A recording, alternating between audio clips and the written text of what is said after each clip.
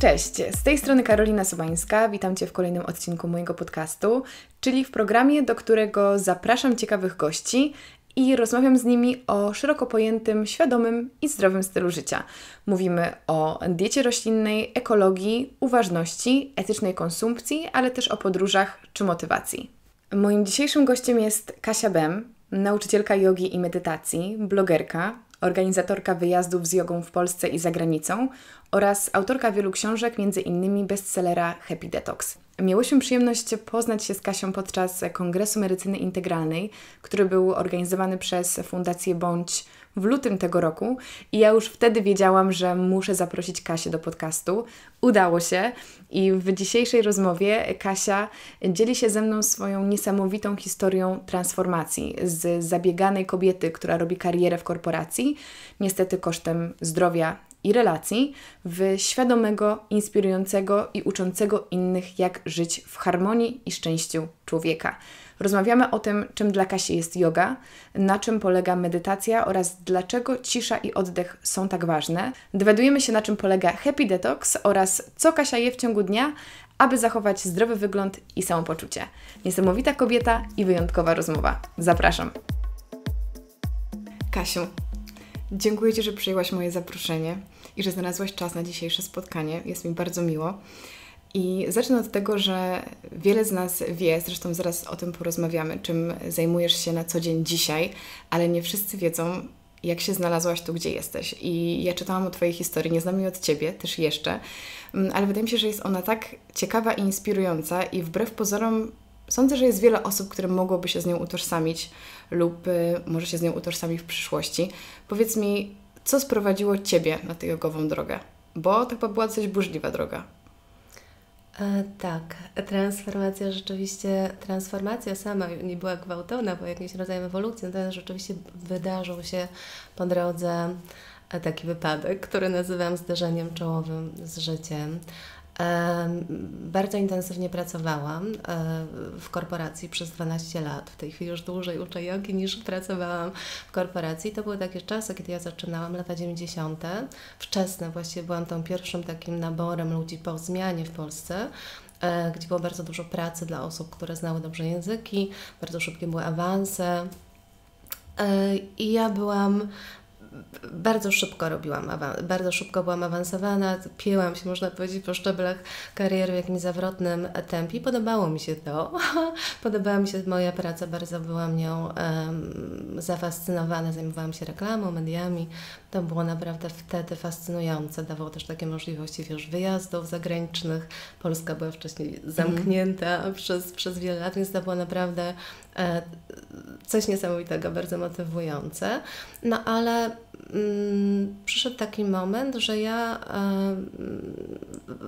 w ogóle przestałam zauważać siebie w tym, w tym pędzie. Do tego doszedł też taki, takie, takie moje życie osobiste, które było wymagające, jak, jak życie osobiste po prostu wymagające jest młodych mam, tak? Byłam żoną, miałam małego, małego wtedy synka, a jednocześnie zarządzałam 25-osobowym zespołem, nie mając wow. jeszcze 30 lat i nie będąc do tego w żaden sposób przygotowaną, bo to było tak na zasadzie nie matura, lecz chęć szczera. Moi koledzy na przykład na zachodzie, na podobnych stanowiskach byli co najmniej 10 lat starsi, tak? Mhm. Ale u nas po prostu nawet nie było takiego, nie było z kogo rekrutować, stąd tacy młodzi ludzie wtedy e, zarządzali.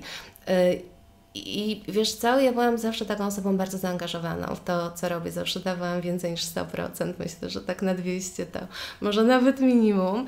No i nie mając żadnych narzędzi, które mm, pomagałyby mi gdzieś poradzić sobie z tym napięciem, z tym stresem, z tym pędem, z tym takim przeciążeniem też obowiązkami, e, doprowadziłam się do stanu takiego wyczerpania, powiedziałabym, e, do takiego stanu wypalenia zawodowego e, i wiesz, spotkała mnie depresja, która no, była bardzo taką trudnym momentem w moim życiu, łatwo sobie wyobrazić, bo też zatrzymała mnie w tym biegu na pół roku i to było takie na mocne podcięcie nóg, tak? Ja się po prostu pędziłam, biegłam i e, przewróciłam się i spadłam w czeluść. Właśnie leciałam, leciałam, leciałam, leciałam, było ciemno, długo było ciemno.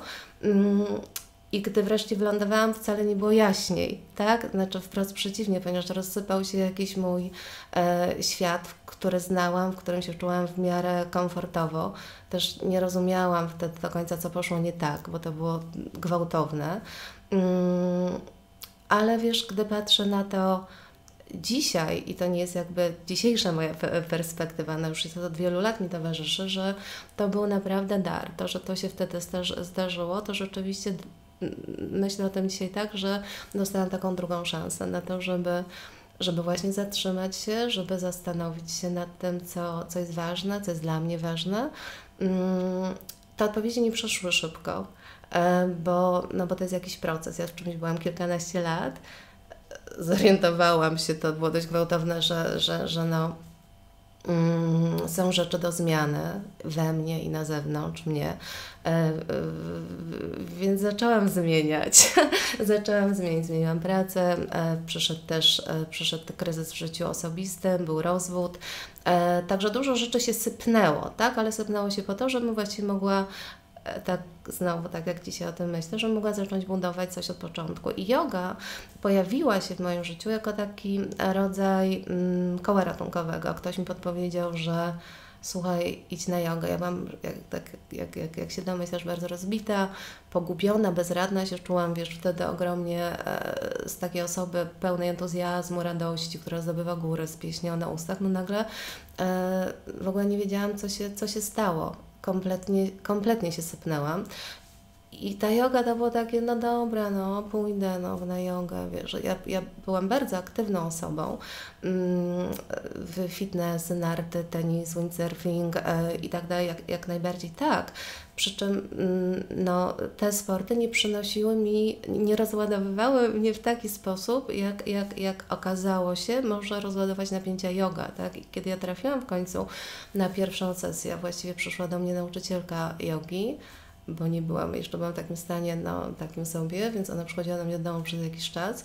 Mm, I muszę powiedzieć, że od pierwszej sesji, wiesz, ja poczułam tak, tak jakąś, tak, tak kolosalną różnicę w samopoczuciu, że to było dla mnie na ogóle przejmujące, dojmujące uczucie. Ja też bardzo szybko um, poczułam, że ja dokładnie to bym chciała robić, że to jest właśnie, no, że, że, że, że no tak, że się właśnie spotykam z jakimś swoim przeznaczeniem, że... E... Ale mówisz w kontekście nauczania? Tak, a to, to mi przyszło do głowy, nie wiem, po, po, po pierwszej, drugiej, trzeciej sesji jakoś naprawdę natychmiast, z tym, że no, jestem taką osobą, wiesz, raczej poukładaną, e, mocno korzenioną, e, i, i, i w związku z tym nie chciałam skakać do basenu, w którym nie ma, nie ma wody. Postanowiłam się jakoś przygotować do tej zmiany, tak, tak powiedzmy, nawet od takiej strony no, super pragmatycznej, jak finansowej, tak, że no, nie wiedziałam jak to będzie, czy sobie poradzę na tym rynku jogi. Wtedy te 15 lat temu to, to w ogóle też nie było popularne, to było jakieś, wiesz, niewiele to może było. był właśnie Twój atut. Myślę, że mm, wiesz co, mm, dzisiaj to jest moim atutem, że zaczynałam dość mhm. wcześnie, tak, bo, bo, bo, bo jakby powiedzmy teraz mam, nie wiem, 15 lat doświadczenia w uczeniu, to już jest jakaś wiarygodność, to już jest jakieś doświadczenie, które no może mieć jakąś większą wartość niż dopiero za skończony kurs, tak? Natomiast wtedy e, atutem to nie było tyle, że po prostu nie było wielu miejsc, gdzie można by uczyć po pierwsze, po drugie też nie było takiej świadomości jak dzisiaj, mhm. Te 15 lat później, e, że, że yoga ma taką potężną moc uzdrawiania. W tej chwili media ten temat bardzo nagłaśniają. Yoga jest, jest, jest E, raz, że popularna, dwa, wręcz wydaje się modne, że mhm. użyję takiego słowa. Mm, I w tej chwili i studia jogi e, wyrastają jak grzyby w deszczu i jest bardzo dużo osób e, zdobywa jakieś uprawnienia do, do, do uczenia. Także mm, wtedy nie, wtedy był taki pomysł, powiedziałam, ryzykowny, natomiast ja nie miałam w ogóle wątpliwości, że to jest moja droga. To było, to było tak silne, to był taki rodzaj wołania. Ja powiedziałam, że to ja po prostu chciałam tylko uczyć jogi, e, ale oczywiście jeszcze pracowałam jak w, pracy, przekonując się dzień po dniu, że, że, że, że, że, już nie, reklamy, marketing PR to nie daje, nie daje rady. Nie, nie, nie jestem w stanie, już nawet moje ciało wiesz, wysyłało mi takie sygnały. E, spięte mięśnie, jak wchodziłam do agencji reklamowej, gdzie rozmawialiśmy o karmie dla kotów i wiesz, takie, takie, tak, że, że pomyśl o tym, jak jest perspektywa Powiedziałaś, że rozmawialiśmy o karmie. Mówię tak, rozmawialiście o karmie w agencji reklamowej, a to dla kotów. Ale wiesz co, o karmie w tym znaczeniu, o którym masz na myśli, też rozmawialiśmy z niektórymi osobami, kolegami czy koleżankami, które się karmą jako taką interesowały. Natomiast to były korytarzowe rozmowy, natomiast o karmie dla kotów, tak. No i gdzieś tam w pewnym momencie że nie, że ja już tak dłużej nie, nie udźwignę, nie uniosę, nie jestem w stanie. Jest bunt ciała, zaraz powtórzy się kolejny, wiesz, epizod e, depresyjny i zdobyłam się na to, żeby złożyć wy, wypowiedzenie. No to też odcinając sobie bezpieczeństwo finansowe wtedy, tak, bo e, pojechałam na kurs do Stanów, e, zrobiłam tam pierwszy taki kurs nauczycielski miesięczny w ashramie e, Shivananda e, i wiesz, gdy wróciłam do Polski, miałam takie szczęście, że przyjęła mnie do pracy Ilona Konrad, która wtedy prowadziła takie centrum, e, centrum jogi w Warszawie e, na Chałubińskiego. Mm, wiem, że to centrum ciągle jest, wiem, że Ilona już go nie prowadzi i wtedy wyobraź sobie, jak wróciłam z tego kursu, bo kilka osób chętnych do uczenia tej Shivanandy, dwie nauczycielki czy trzy może i Ilona zrobiła taki rodzaj, mm, no nie wiem, tajnego głosowania, którą osoby chcą chcą, chcą osoby uczęszczające i, i wypadło na mnie. Ja pamiętam, że byłam wtedy e, e, gdzieś, gdzieś byłam poza Warszawą na pewno, gdzieś, gdzieś, gdzieś na jakimś, nieważne. Ale zadzwoniła do mnie Ilona i mówi, słuchaj, będziesz uczyła jogi. To były chyba takie raptem wtedy, dwa razy w tygodniu, co ja, ja poczułam się tak, jakbym wygrała milion w totkę. I byłam tak szczęśliwa. No i to się zaczęło. Oczywiście, wiesz, były takie momenty załamania, bo jak się domyślasz, trudno się utrzymać, prawda, prowadząc dwa razy zajęcia jogi, więc ja jeszcze przez jakiś czas e, pracowałam jako copywriter, czy pisałam mhm. jakieś, czy jako dziennikarka, e, miałam jakieś takie możliwości, wiesz, e, ale w pewnym momencie też zdałam sobie sprawę, że ja muszę to odciąć, że ja chcę się rozwinąć całkowicie w jodze, a to było moim marzeniem, moim, moją, wiesz, moją zajawką, mm, no to muszę z tego zrezygnować. I rzeczywiście tak się stało, zrezygnowałam i powiem Ci, jakoś energia, mówimy, podąża za uwagą, tak? Czyli gdy rzeczywiście swoją uwagę skierowałam na to, co chciałam robić, to zaczęło rosnąć, można tak powiedzieć. I takie poczucie, że przez tą moją klarowność decyzji wszechświat też zaczął mi bardzo sprzyjać, czyli ja coraz więcej dostawałam możliwości uczenia.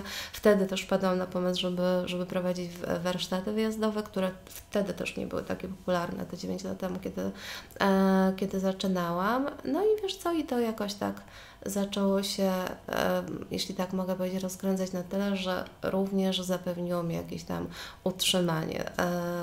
Nieporównywalne były te finanse z tym, co zarabiałam oczywiście w agencjach reklamowych, jak się domyślasz, ale mój poziom szczęścia był wielokrotnie, wielokrotnie, wielokrotnie wyższy, więc mogę tylko powiedzieć, że to wyświetlane powiedzenie, że pieniądze szczęścia nie dają, tak, absolutnie podpisuję się obiema rękami pod nim. Powiedz mi, w jaki sposób yoga przez ten czas dała mhm. Ci odpowiedzi na te pytania, o których mówiłaś na początku? Że to było stopniowe i to, czy to było dzięki jodze? Wiesz co, w bardzo dużej mierze oczywiście tak, bo e, tak jak powiedziałam też wcześniej, jak ja w coś wchodzę, to wchodzę na 200-300%, jakby również yoga, do tej pory tak jest, ja właściwie cały czas nie ma dnia, kiedy ja nie studiowała jakiegoś zagadnienia w jodze, czy nie wiem, dowiadywała się czegoś na ten temat, bo to po prostu mnie mm, mega pasjonuje.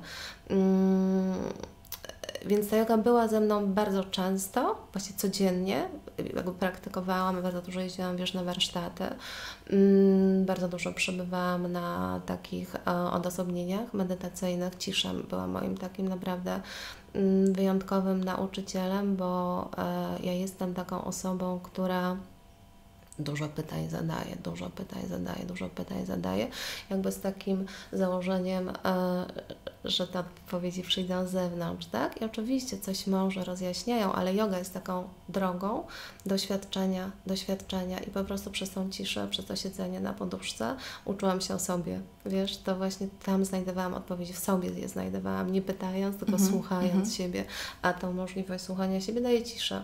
Więc jakby tak, yoga była szalenie istotna w tym procesie, ale nie jedyna. Ja również korzystałam, wiesz, z psychoterapii, jakby po, po tego rodzaju traumach, bo jednak tak to chyba muszę nazwać. E, była, była psychoterapia e, mi potrzebna i też dużo mi dała.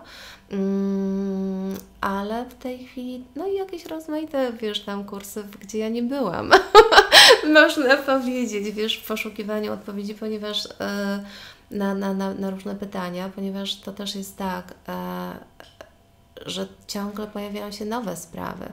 Nigdy nie jest tak, że rozwój twój jest zakończony. Mhm. To jest bardzo, Już nawet powiedziałabym, nie ma takiego momentu. Jeśli myślę, że wszystko wiem, to, to chyba tak. jestem idiotą. Wiesz, no nie ma takiego, nie ma końca tej, tej drogi i bardzo szybko to jest weryfikowane, wiesz, na, i, i tak naprawdę też obserwujesz, na ile rozwijasz się, powiedziałabym, jakby, bo można ten rozwój jednak jakoś poddać ocenie, tak? Mm, własnej albo czy też przez jakieś lustro zewnętrzne, ale yy, to, to w jaki sposób Ty reagujesz na różne sytuacje w życiu, tak? Jakby potem, potem rzeczywiście można zweryfikować, na ile ta, ta ścieżka, którą kroczysz, jakby przy, przynosi Ci jakieś wymierne rezultaty czy w Twoim zachowaniu? Wobec innych pojawia się więcej miłości, akceptacji, tolerancji, wiesz, życzliwości, czy jest w Tobie więcej spokoju, yy, czy jest w Tobie więcej radości, czy czujesz się lepiej, czy, czy jesteś zdrowsza. To są wszystko bardzo wymierne yy, papierki lakmusowe, mhm. które, które jakby sprawdzają, na ile jesteś na dobrej drodze, bo jeżeli to się nie wydarza w procesie, no to jest to niepokojące, no bo, bo, bo, bo, bo wiesz, yy, znaczy, że może droga jest zła, może determinacja jest niewystarczająca, może trzeba zmienić nauczyciela, a może nawet system, wiesz, e, mhm. albo, albo jeszcze więcej praktykować. Jeszcze to jakby to, to jest złożone, na tej drodze jest bardzo potrzebny nauczyciel. To, to z całą pewnością taka osoba, którą mm, no, która Cię prowadzi.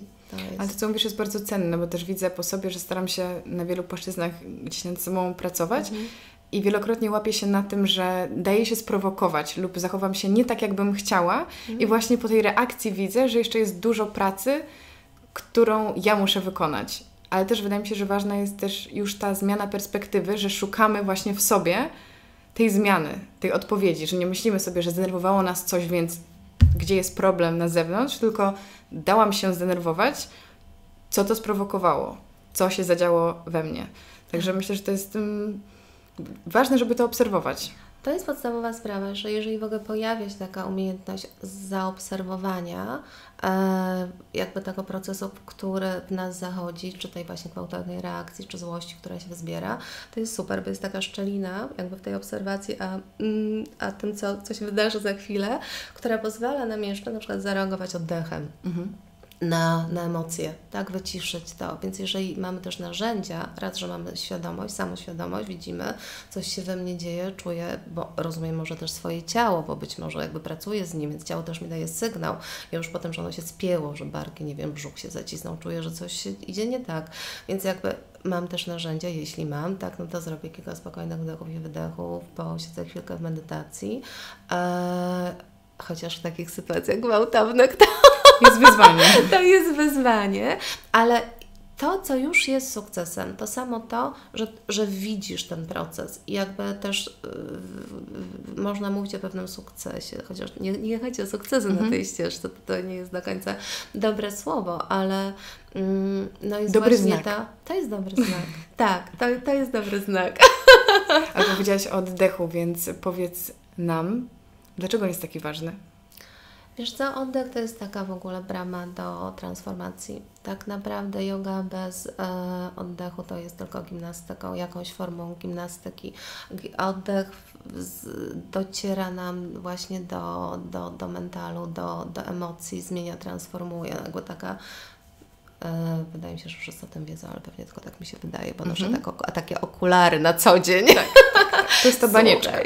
tak, e, wiesz co, oddech po prostu, to, to jest tak, że mm, zwróćmy uwagę, że gdy jesteśmy zdenerwowani, oddech e, się spłyca. To jest w ogóle automat, albo jest mocno zaciśnięty brzuch, jest bardzo tylko płytki oddech piersiowy. I teraz e, i ta emocja narasta w nas, tak? Oddech się coraz bardziej spłyca, ciało wydziela mnóstwo hormonów stresu, kortyzol, wiesz, adrenalina.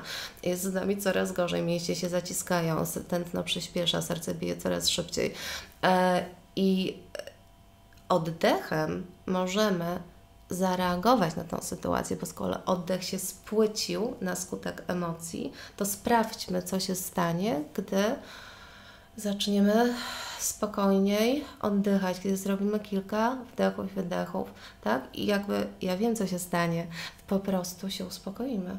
Dostaniemy, dostaniemy taką przestrzeń nagle na właśnie na zobaczenie tego, o czym mówimy. E, halo, halo, halo, co, co, co się właściwie dzieje? Co ja robię?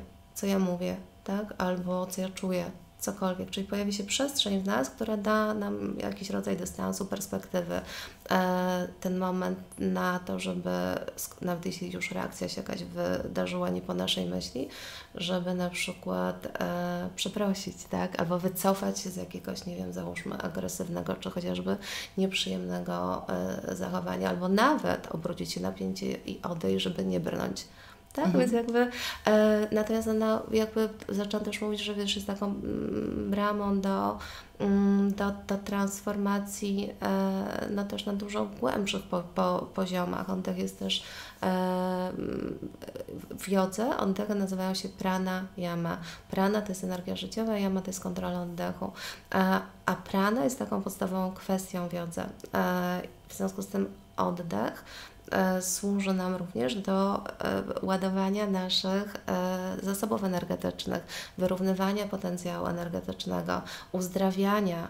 Bardzo często jest tak, to też jest bardzo ważne, cieszę się, że mogę o tym powiedzieć. Mhm. Bardzo często mamy napięty brzuch. I to jest często permanentna sytuacja.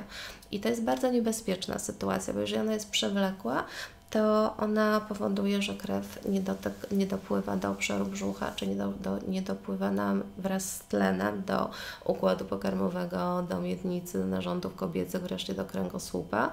Na początku są jakieś może jakieś towarzyszone bóle brzucha, boli kręgosłup, czyli mówimy o dolegliwościach, ale jeżeli jest permanentnie nierozładowywane w żaden sposób, może skutkować jakąś bardzo poważną chorobą. Także bardzo apeluję o to, żeby rozluźniać brzuch, żeby patrzeć na brzuch. Ja uczę na swoich zajęciach zawsze warsztatach taki w cudzysłowie mantry, miękki brzuch, mhm. miękki brzuch. Powiedz sobie miękki brzuch, zauważysz brzuch i rozluźnij ten obszar. Wpuść tam oddech. Zobacz, co się z Tobą stanie. Ale to jest bardzo ciekawe, bo ja zazwyczaj mhm. chodzę ze spiętym brzuchem celowo. I wydawało mi się, że jeżeli mamy napięte mięśnie brzucha, to one bardziej pracują i lepiej trzymają naszą postawę.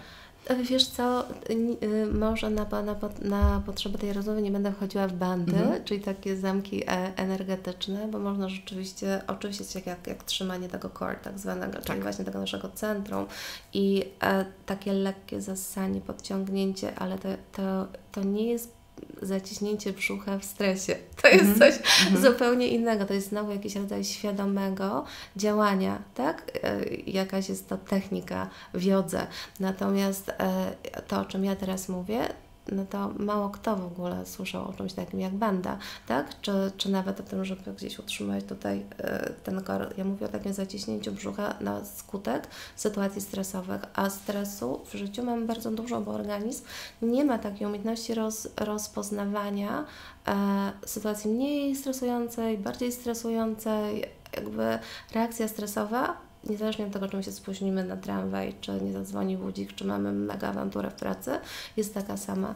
E, czyli właśnie właśnie ruszają te hormony stresu, to już, to już wszystko opowiadając, nie się powtarzała.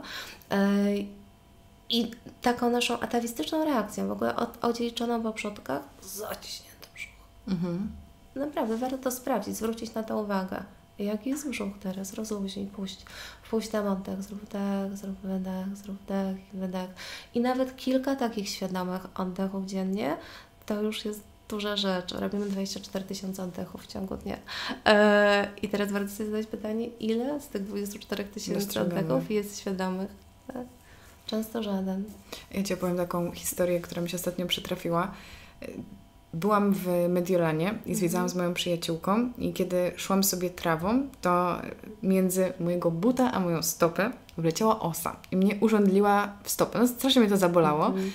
I pomyślałam sobie, no nie, no ja się nie zgadzam w ogóle, żeby ta osoba mnie teraz rządliła, kiedy ja mam przed sobą pół dnia chodzenia po mieście, nie planuję wchodzić w żaden ani łapać żadnych autobusów. Miałam też walizkę ze sobą, więc no kompletnie też, w ogóle to nie było po mojej myśli. To nie był dobry moment na to, żeby urządziła no, Cię osoba. Absolutnie. No, no, w ogóle nie zgodziłam się na to i pamiętam, że stwierdziliśmy, że usiądziemy sobie z przyjaciółką. No, no promieniowała mi ta stopa, no ewidentnie mnie urządliła ta, ta osa, więc położyłam się na ziemi, na tej trawie, no i czułam, że czułam to ukąszenie, zdjęłam tego buta, leżę na tej trawie i gdzieś to usłyszałam wcześniej, więc stwierdziłam, że przetestuję. Więc zamknęłam sobie mhm. oczy i wyobrażałam sobie, że ja oddycham sobie w to urządlenie.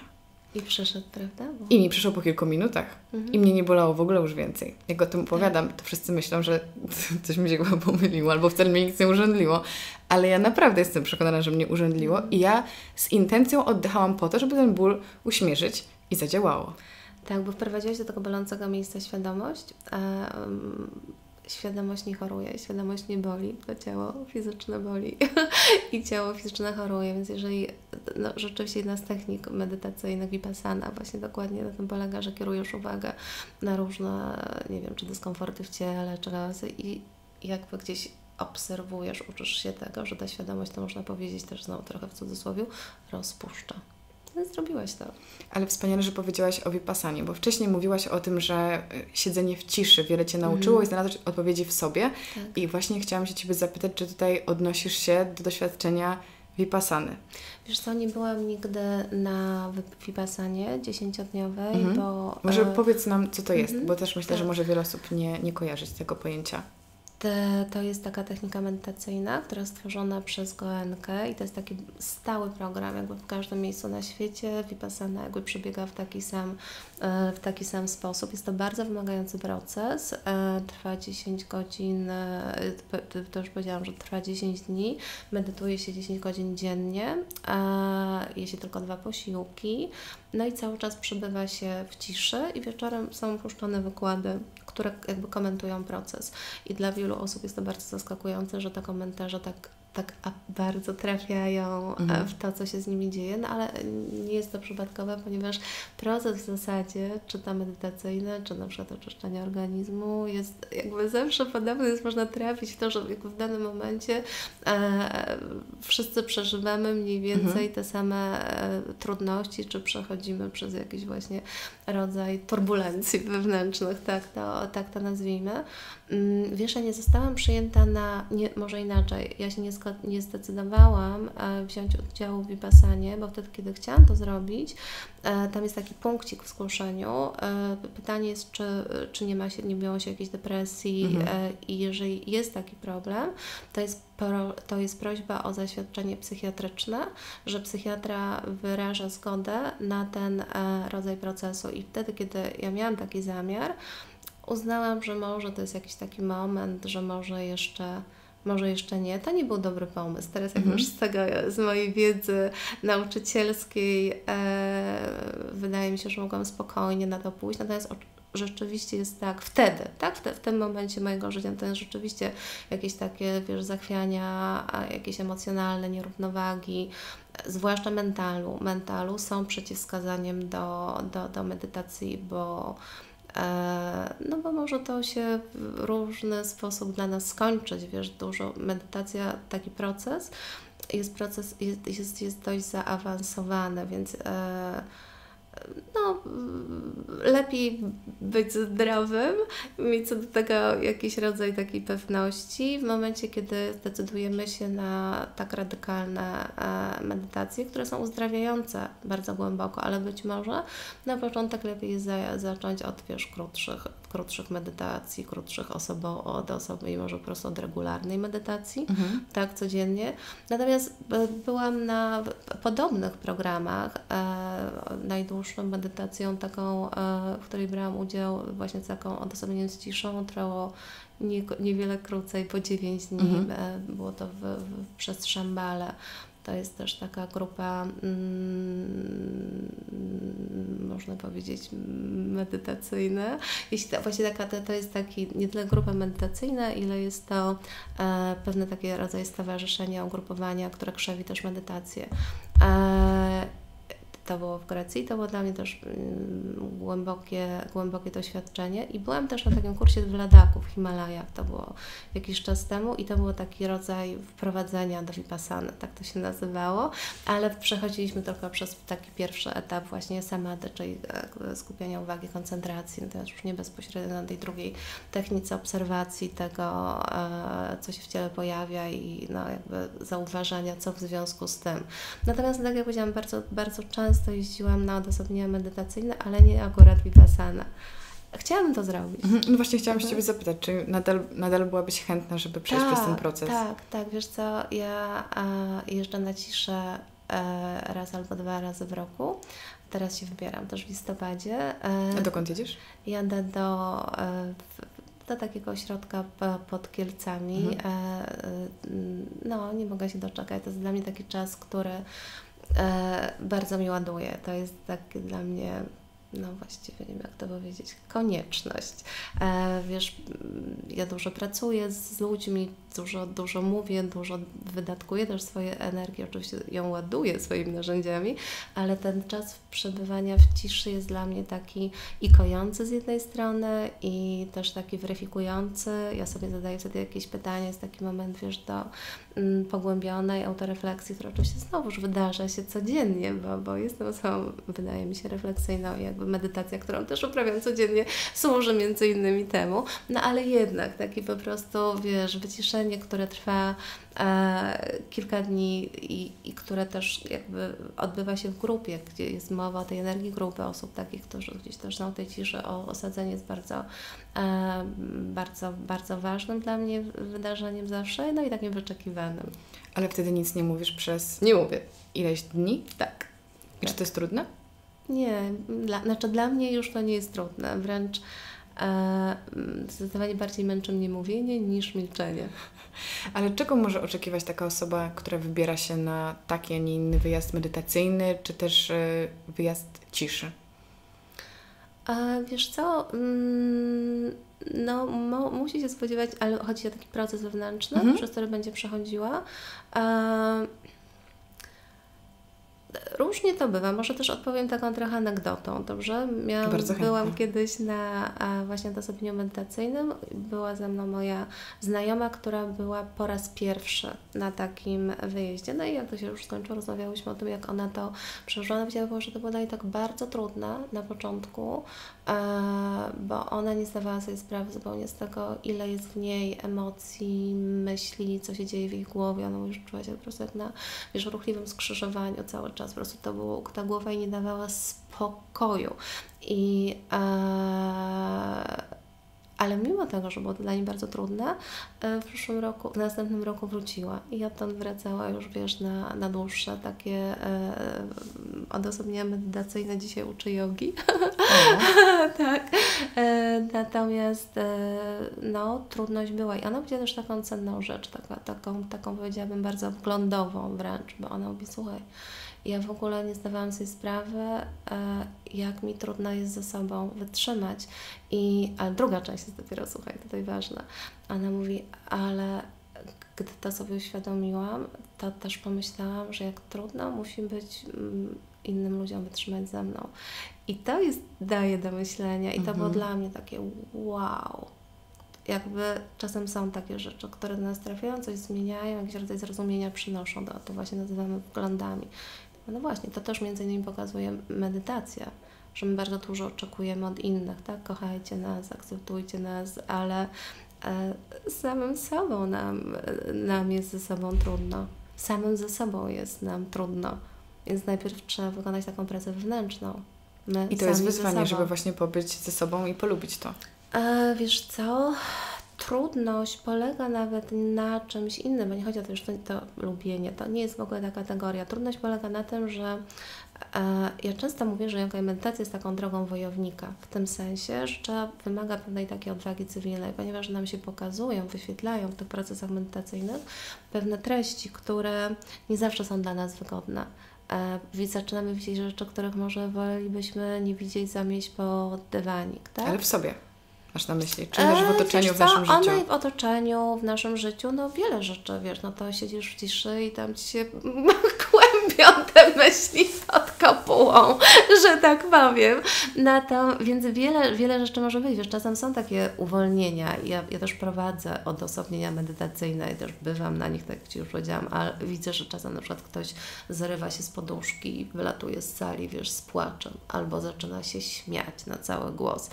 E, I co to znaczy? To znaczy, mhm. że coś się zobaczyło że ta osoba na coś zareagowała, że coś sobie uświadomiła. I teraz już jest pytanie, co my dalej z tym zrobimy. Dlatego w tym sensie jest droga wojownika, czy my chcemy dalej jakby pracować nad tym. E, mówimy zawsze, Buddha mówił o tym, Wiedzy się o tym mówi, idź dalej, idź dalej, idź dalej, idź dalej. To też jakby znowu już wspominaliśmy, prawda, że to jest taki niekończący się proces, bo coś Ci się wyświetli, jedna rzecz Ci się odklei, ale za chwilę zobaczysz coś innego. I teraz, czy chcesz nad tym pracować? Czy to jest warte zmiany? A może, może nie. Może, może jakby za dużo musiałabyś w swoim życiu zburzyć, zmienić, raniąc przy okazji zbyt wiele osób wokół Ciebie. Więc wiesz, stajesz wobec naprawdę czasem przez takie oglądanie siebie wobec trudnych tematów, trudnych decyzji, trudnych wyborów. Na przykład okazuje się, że Twój związek jest nie tak, jakbyś chciała, tak? Bo nagle masz czas nawet, żeby się na to zastanowić, albo że nie wiem, praca nie taka, tak? Więc to nie są proste decyzje. To nie jest tak, że to tak, a dobra, to się rozwiodę, albo okej, okay, to zmienię pracę. To są, to są poważne sprawy, albo że, że, że dostrzegasz właśnie w sobie jakieś wzorce zachowań, tak? Takie Twoje schematy działania, które też są do zmiany, więc jeżeli są do zmiany, to wymagają pracy. Medytacja jest takim rodzajem lustra. My dochodzimy, chcemy mieć taki umysł, który widzi rzeczy takimi, jakimi one są. Czyli bez iluzji, bez zasłony, a to nie jest łatwe widzenie, bo my ciągle staramy się coś tam, wiesz, jakąś narrację, jakoś inaczej z kamuflaż. Kąta, kamuflaż, tak, a chodzi o to, że ten nasz umysł ma być taki spokojny jak jezioro w bezwieczny dzień. Rzucasz kamyk, widzisz, jak on spada na dno. Nic Ci tego widzenia, wiesz, nie mąci. I tak jak mówię, to nie jest łatwe widzenie, to ono jest ostre. To już samo słowo. Boli. Niepokojące.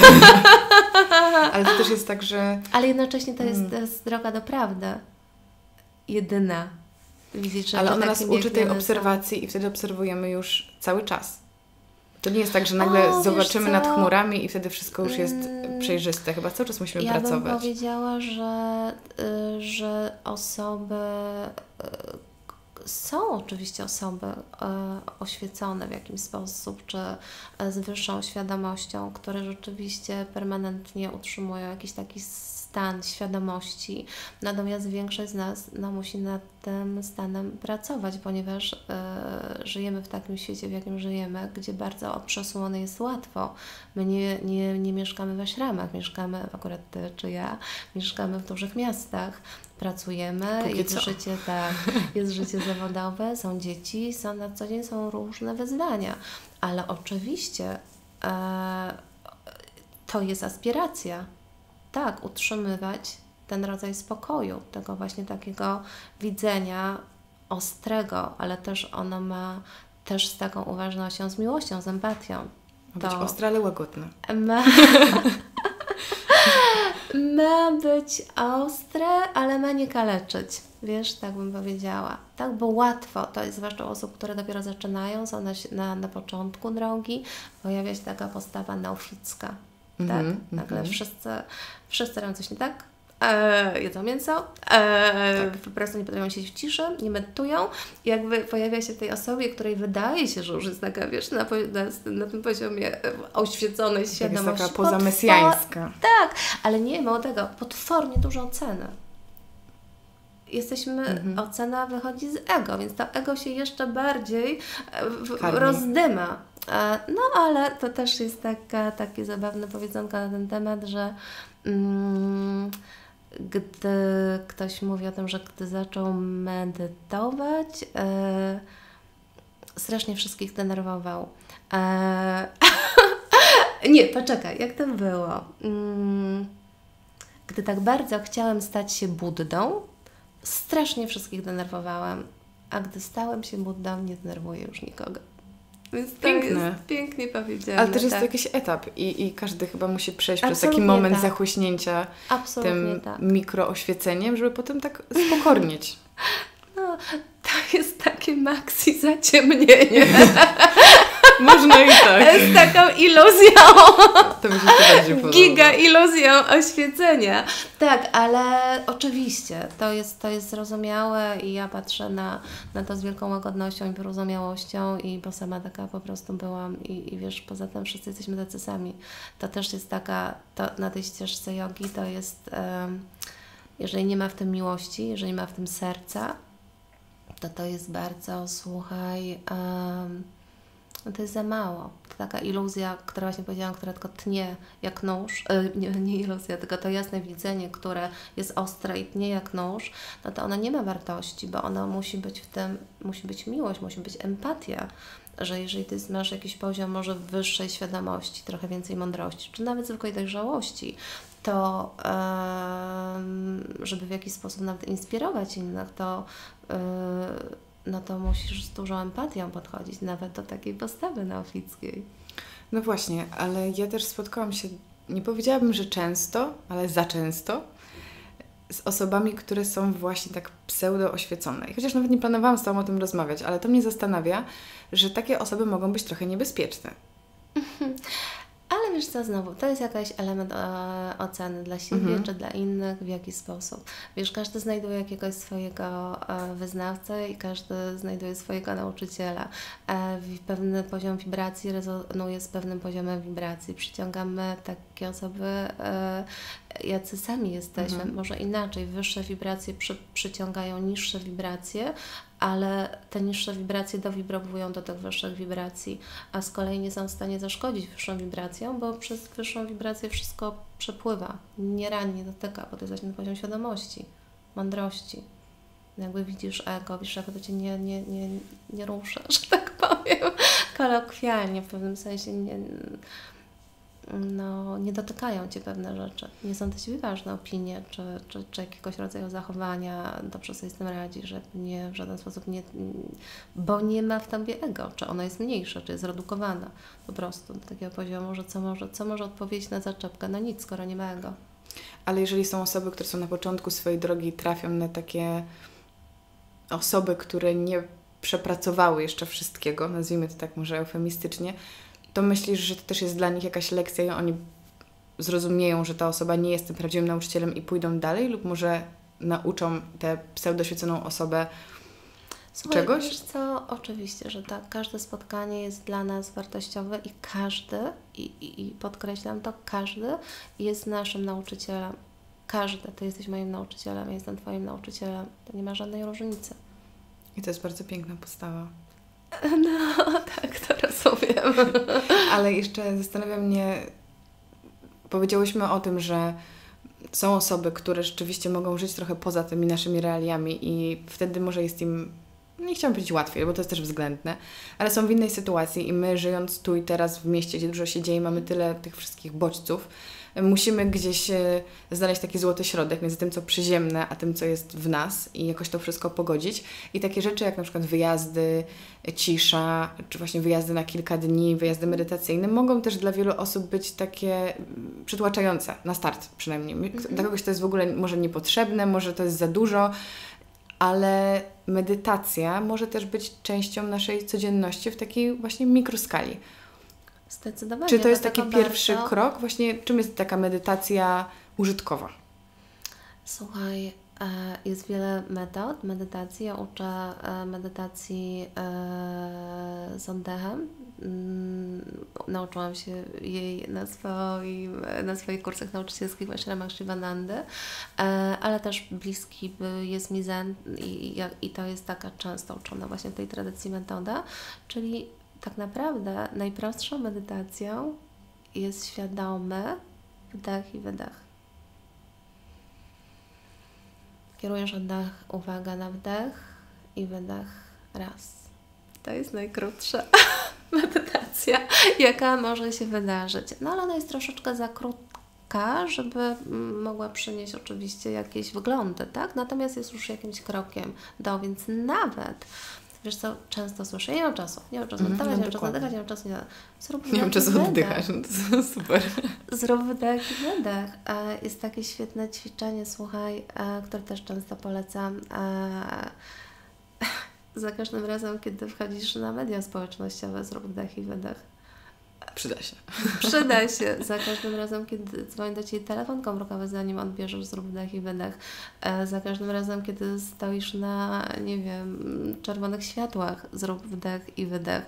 Za każdym razem, kiedy jedziesz metrem, tramwajem, autobusem, siedź medytuj, obserwuj swój oddech, bo medytacja dla tej instrukcji jest bardzo prosta. Wydawałoby się, że zbyt prosta, ale, ale nie jest łatwa, bo instrukcja jest prosta. Instrukcja jest taka: usiądź, wyprostuj kręgosłup, złącz dłonie w mudrze, skup uwagę na oddechu i utrzymuj na tym oddechu świadomość stale, nieprzerwaną świadomość na wdechu i wydechu, czyli na początek zaleca się też, żeby liczyć oddechy od 1 do 10 w taki sposób już wdech, wydech, jeden, wdech, wydech, 2 do 10 i w Mhm. kółko, i w kółko, i w kółko. Jest, może być coś prostszego?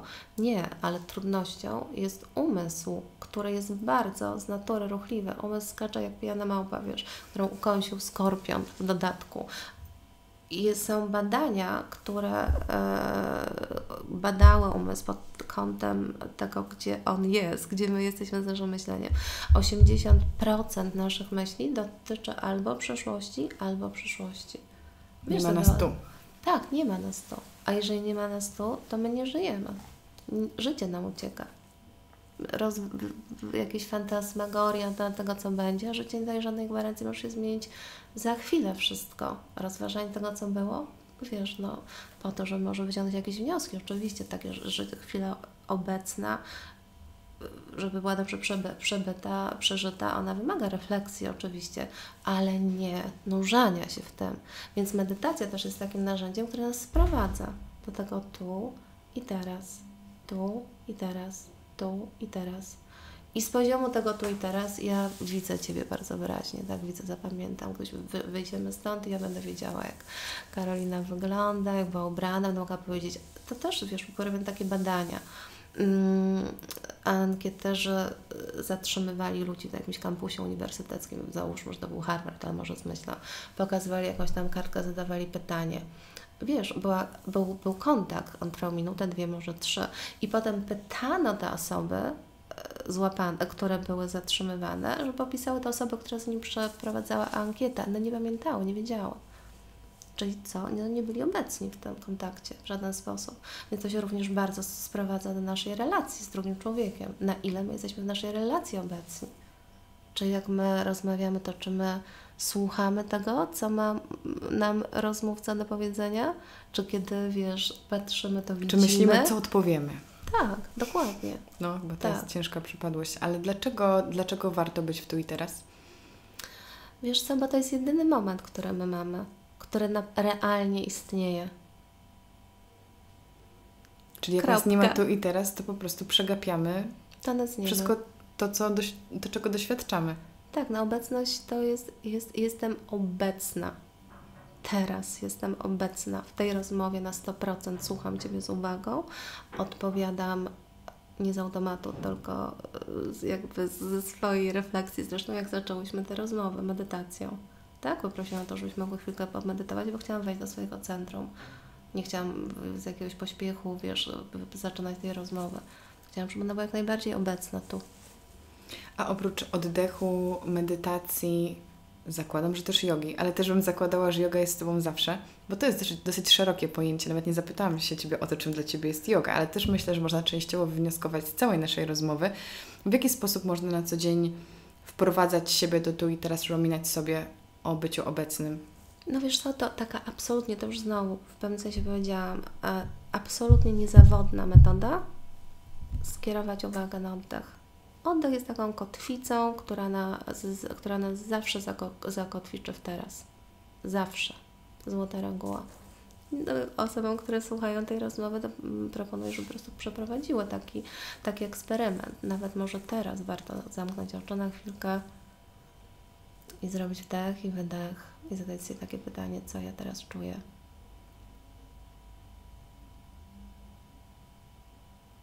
Jesteście z nami? Jeśli są z nami, to są teraz. Tak. Mm, coś innego oprócz oddechu? Na co dzień takie małe, może, może jakieś Twoje Mhm. takie codzienne rytuały, które sprawiają, że wracasz do siebie? Ja chciałabym tylko odpowiedzieć na pytanie, czym jest dla mnie yoga. A proszę bardzo. Wszystkim jest dla mnie. Gdyby Wiesz ktoś miał jakieś wątpliwości, oto odpowiedź. Yoga jest takim moim centrum i jakby całe, staram się być w świecie z tego, z tego, z tego centrum, czy jakby wszystko, co robię, moje relacje z, z, z ludźmi, e, to czym się zajmuję, to jakby jest mm, bardzo z jogą związane i jogą gdzieś na, na, nacechowane. Natomiast co ja robię na co dzień, wiesz co? Yoga jest też taką, e, może dlatego mi tak zatrzymała, bo ona mi dała takie bardzo holistyczne narzędzie, czyli jakby zajęła się mną z każdej możliwej strony. Tak, że nie tylko ciałem fizycznym, ale właśnie emocjami, i psychiką, i, i, i zdrowiem szeroko pojętym, tak? Właśnie takim fizyczno-emocjonalno-mentalnym. Mm, to mnie uwiodło i to mnie z jogą związało i to mnie przy jodze zatrzymało. E, e, a na, słuchaj, no, moja pierwsza książka była też o diecie w dużej Mhm. mierze, e, więc może zacznę od tego, co jem na śniadanie. Powiedz, powiedz ja, ja uwielbiam pytać moich gości, co jedzą w ciągu dnia. To jest moje ulubione pytanie. No mam hopla, wiesz co, z jedzeniem. Jestem wegetarianką, w porywach weganką, ale to, to, to, to, to wtedy, kiedy jest ciepło. E, ale gdzieś oscyluję też, tak jakby już ciążę do tego, żeby na całkowity weganizm przejść, ale jeszcze nie... Nie chcę, jeż, jeszcze Nie nie, jestem, jeszcze nie deklaruję, tak, tak, bo nie chciałam być takie coś, że czuję, że coś łam, jakąś, jestem poważna wobec siebie, uczciwa, więc jak już dojrzeję do tego, tak że weganką, weganką, chciałam, żeby było w 100% w zgodzie ze mną. E, słuchaj, jem owsiankę ja, i to jest tak, że mm, jem ją rzeczywiście codziennie, uwielbiam. E, taka jest owsianka, którą opisuję w swojej książce Heavy Detox Surowa Helena. Zalewam e, płatki owsiane e, wodą dobrej jakości, no i tam sypuję orzechy, e, rodzynki, e, jak mam jakieś figi, dodaję trochę imbiru, kardamonu i to tam się razem, tak wiesz, na, tą wodą e, nasiąka. Można to zostawić na noc, można to zrobić w 15 minut rano, również troszeczkę inna jest konsystencja tego, ale to jest również pyszne, takie krócej przygotowywane. Kroję w to dużo owoców yy, sezonowych, najchętniej. Dzisiaj to, był, to, było, to była gruszka i jabłko i troszkę banana dla, dla słodyczy.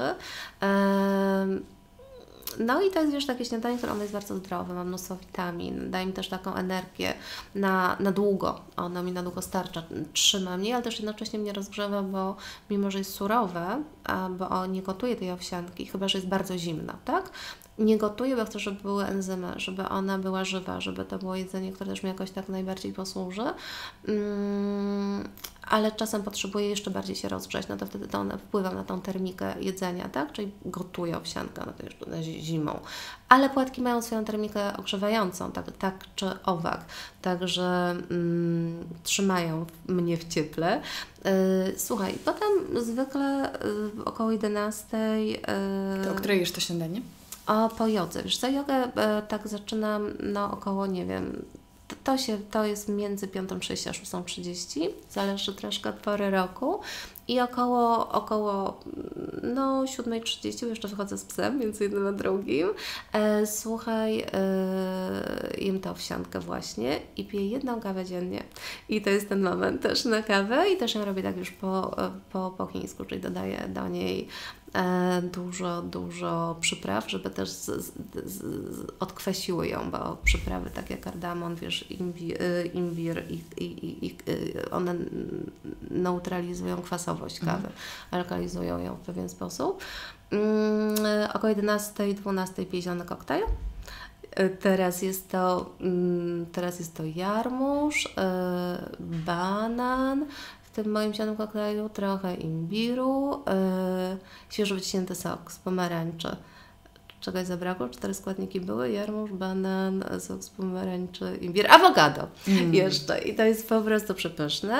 E, no i potem, wiesz co, jem jakąś miskę, bo, bo tak e, Ayurveda, e, staram się jakoś w miarę być wierna temu. Ayurveda mówi, że, że potrzebujemy jeść tyle, ile mieści się w naszych dłoniach, czyli jest tak, tak na, na raz, tak, na mhm. posiłek. Czyli jest to zawartość miseczki, trzy razy dziennie takie miski czy miseczki mm, i małe przekąski między.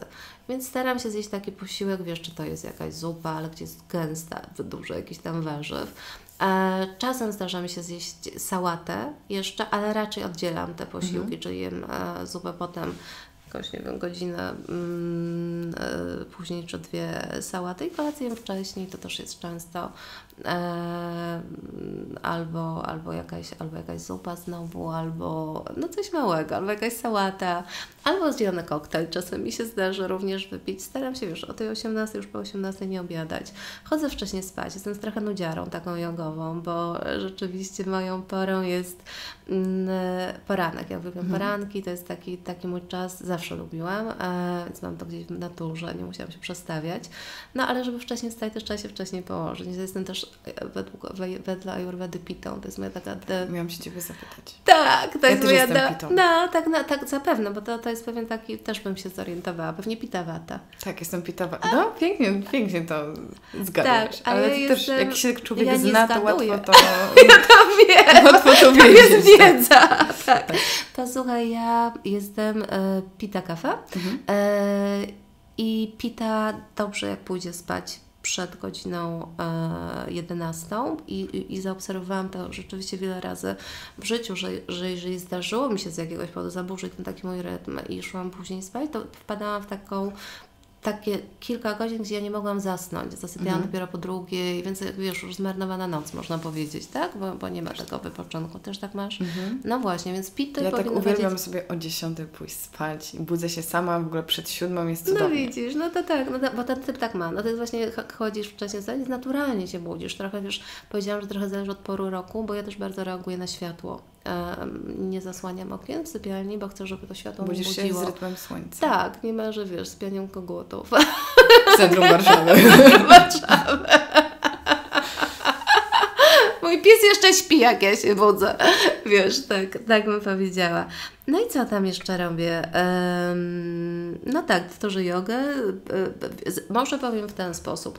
Zawsze mam taką swoją sekwencję oddechów, e, które się nauczyłam właśnie w, w, w, w Shivanandy. Ufam tej praktyce bardzo. E, to jest oddech Kapalabhati, który jest takim oddechem czyszczącym bardzo organizm, właściwie kriya, czyli taka, taka technika oczyszczająca organizm, nawet bardziej niż pranayama. Mm, I ona raz, że oczyszcza, dwa, że energetyzuje, bardzo silnie dotlenia organizm, pobudza perystaltykę. No rewelacja, ale wiesz, to jest ten aspekt taki właśnie oczyszczający, to jest szczególnie istotne, bo mm, osoby, które są zaśluzowane, ja akurat nie jestem, ponieważ ja robię dużo detoksów, już prowadzę takie warsztaty, albo i sama się oczyszczam, no i dbam o tą dietę i dbam o to takie też codzienne oczyszczenie organizmu, więc nie ma we mnie dużo śluzu, tak? Ale osoby, które, mm, które może nie mają takiej świadomości yy, jedzenia, czy gdzieś zaczynają dopiero taką swoją przygodę, powiedzmy, z tym oddechem, to są zaskoczone, ile z nich wychodzi takiego mo, powiem kolokwialnie, smarku, śluzu, wiesz, toksynę, tak? Ama to jest, ama to jest toksyna wedle, wedle Ayurveda. Ama jest mama of all illnesses, czyli ama jest matką wszystkich chorób. I to usuwanie toksyn na bieżąco, codziennie, rano, ale nawet dwa, albo nawet dwa razy dziennie, no to utrzymuje nas też w zdrowiu po prostu. Eee, słuchaj, przykład z dzisiaj. Wiesz co, bo obudziłam się dzisiaj taka trochę, łamało mnie przeziemienierska pogoda, nie, nie, jakby raz jest zimno, raz jest ciepło, w ciągu dnia to się zmienia kilka razy. Eee, no to co ja zrobiłam? No oczywiście zrobiłam kabalabati, zrobiłam taką medytację e, uzdrawiającego światła i zrobiłam pozycje odwrócone, które bardzo pomagają właśnie przy takich przeziębieniowych, wiesz, historiach. E, no i poczułam się lepiej, znacznie. Dzisiaj też miałam taki dzień, że akurat uczę jogi, dzisiaj mam sesję, e, jesteśmy u mnie po sesjach e, i wiesz no ponieważ poczułam się lepiej, ale jakby ciągle nie w swojej najlepszej formie, więc jeszcze przed sesjami położyłam się na takie dobre 15 minut w pozycji z nogami na ścianie. Powiedziałam, że ona mi pomoże. Doenergetyzowałam trochę gardło.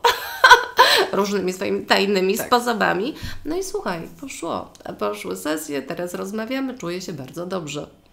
Powiedziałaś o detoksach. Tak. I ja w ogóle myślałam, że w połowie rozmowy Cię o to zapytam, ale ona powędrowała swoim własnym torem. Ale też e, znane są Twoje detoksy, różne programy mm. i bardzo mnie ciekawi, na czym one polegają. I detoks w ogóle też kojarzy się z czymś m, takim przejściowym, że to jest taki jakiś etap, że to jest jakiś taki mm. proces, który sobie, m, który przeprowadzamy raz na jakiś czas po to, żeby się oczyścić. Ale czy ten Twój detoks to jest, y, może być stylem życia? Tak, i wiesz co, ja zawsze o tym mówię na warsztatach i to jest dla mnie bardzo ważne i też dlatego tak, a nie inaczej jest ten mm, Happy Detox wymyślony. To jest dieta wegańska, no bez cukru, bez mąki, bez używek, rzecz jasna, no jak skoro wegańska, to bez mięsa, wiadomo, e, bez nabiału. Tak, więc ona jest bardzo wyczyszczona z tego, co ja nazywam czarnymi charakterami.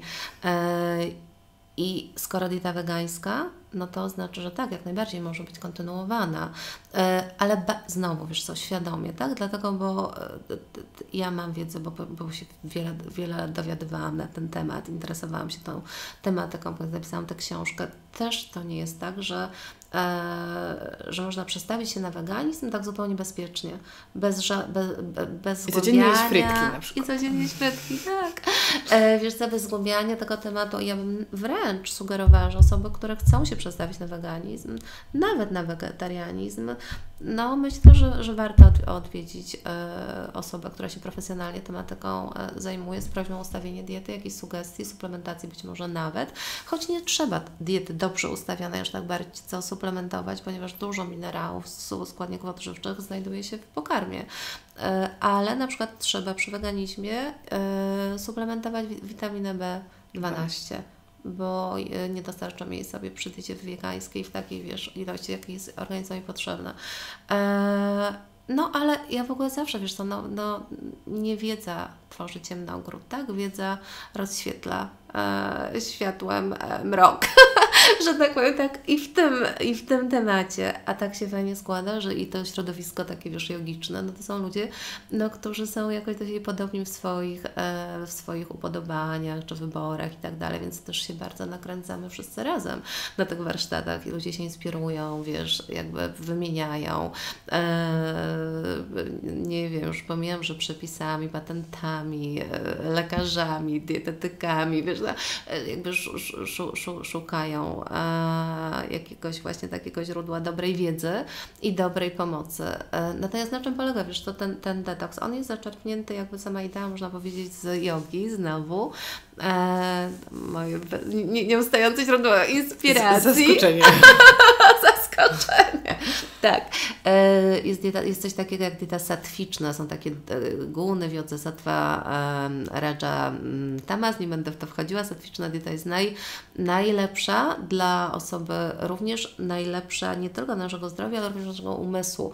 Również dla tego właśnie jasnego widzenia. Tak? To można powiedzieć, że taką cechą czy to osoby satwicznej, która spożywa satwiczne pokarmy, która żyje satwiczne, jest pewna jakaś tak, jest jest spokój, jest radość, jest jakaś właśnie taka a, jakaś taki rodzaj promienności światła, nawet można powiedzieć. E, I dieta na to wpływa.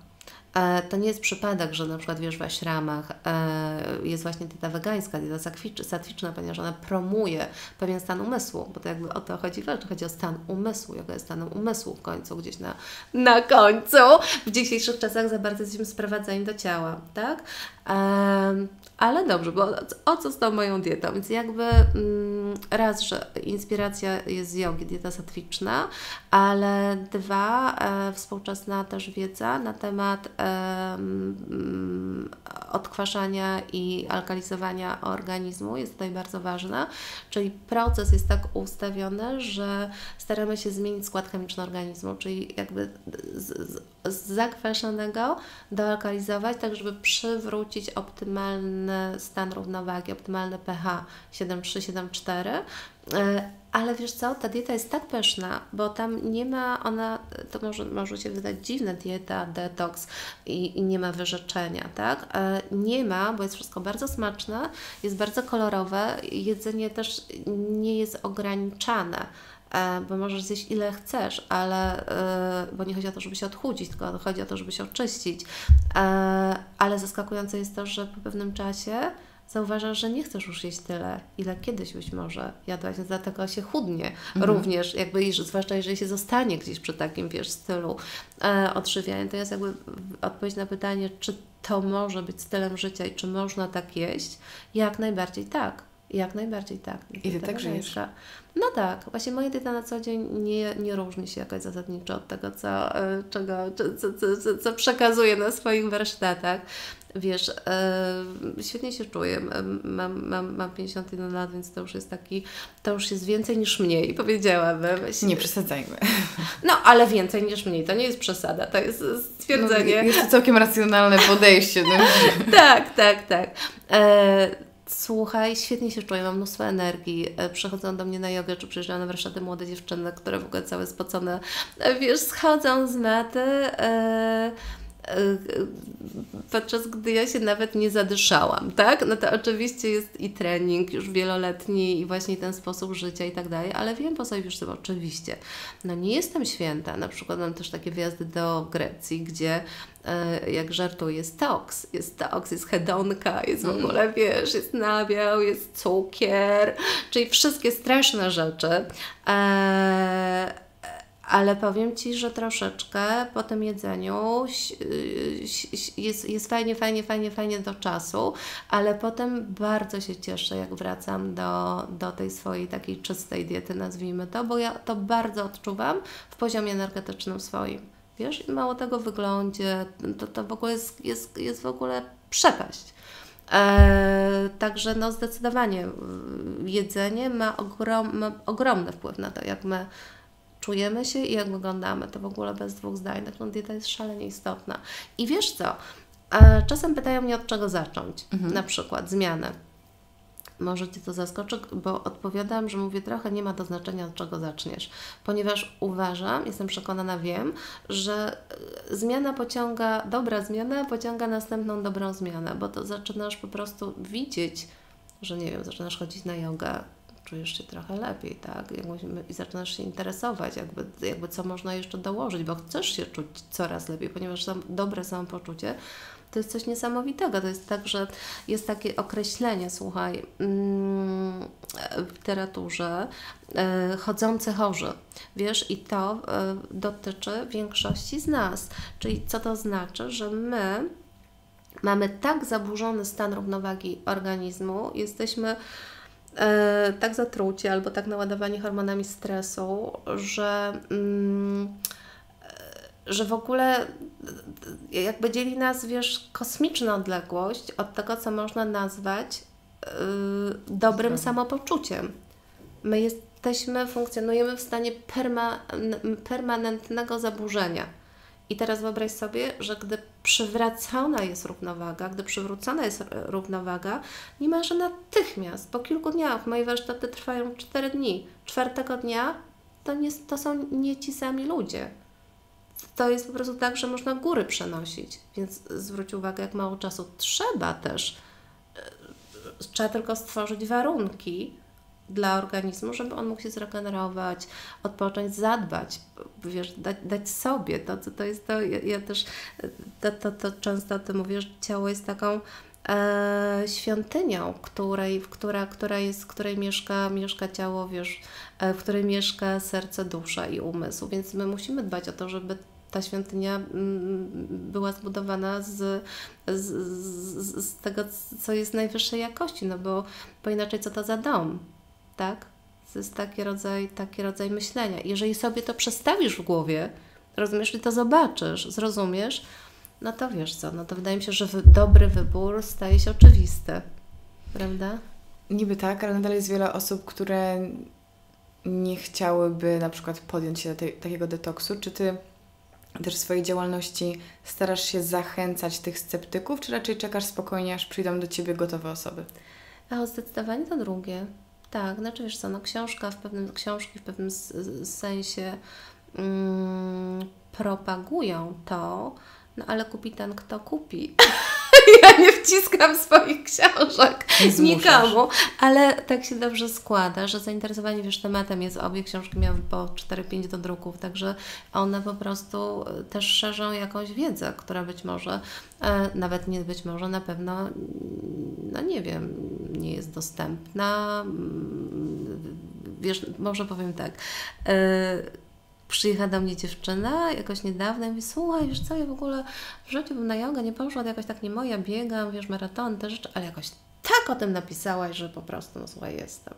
No więc wiesz, to bardzo, to bardzo, bardzo, bardzo fajne, ale nie, nie, nie przekonuję. Uważam, że wiesz, mm, też jest takie powiedzenie, że e, kiedy uczeń jest gotowy, pojawia się nauczyciel, więc e, na siłę nikogo nie przekonasz do zmiany, wiesz, no to możesz, możesz mówić, wiesz, jak to jest, no albo tylko przykładem, e, gdzieś zachęcić do, do jakiegoś działania, e, wiarygodnością, autentycznością, prawdą, konsekwencją, natomiast e, nic na siłę, no jeżeli ktoś nie chce, to nie chce, to w ogóle nie ma, i ja to szanuję też, mhm. wiesz. Bo też każdy jest na, na swojej drodze. Każdy jest na swojej drodze, oczywiście. Ale myślę, że to warto powtórzyć to, co powiedziałaś, czyli że mm, od czego warto zacząć? Warto po prostu zacząć. Tak. tak. To jest ten najtrudniejszy krok, a trzeba po prostu podjąć jakiekolwiek działanie. Jutro. Dzisiaj jeszcze. Teraz. Teraz. to na sam koniec e, powiedz mi, może tak z, e, z nienacka zapytam, e, dlaczego chcesz uczyć? Wiesz co, to daje, tak, to daje skrzydeł. Nieprawdopodobnie uczenie. To jest jakby z jednej e, strony, że możliwość przekazywania narzędzi, które naprawdę mają taką moc odmieniania, e, wiesz, życia, zmiany tego życia na lepsze, poprawienie jakości życia, to jest nieprawdopodobny przywilej. Ja, ja czuję, że mm, no nie wiem, wiesz, że to po prostu. Yy, to jest jakiś rodzaj misji, to jakiś taki rodzaj, wiesz, e, tak jakby ci chce, wiesz, że nie wiem, masz, masz, masz, masz milion e, kamieni cennych, które możesz rozdać i wiesz, że one odmieniają ludziom życie najlepsze. Rozumiesz? no to idziesz i rozdajesz, wciskasz te kamienie. No jak nie wciskał, o to nie zapytałeś, ale po prostu to jest po prostu, to, to jest nieprawdopodobna radość, satysfakcja, spełnienie, że, że możesz przekazywać taką wiedzę wiesz? E, bo ona ma po prostu taką terapeutyczną, uzdrawiającą moc. Kasiu, bardzo Ci dziękuję za tę rozmowę. Życzę Ci wszystkiego dobrego i dziękuję Ci, że podzieliłaś się tyloma cennymi informacjami. I wierzę, że będziesz jeszcze bardzo długo rozdawać swoje cenne kamienie. Chciałabym, żeby to trwało. Dziękuję Ci bardzo. Namaste. Namaste.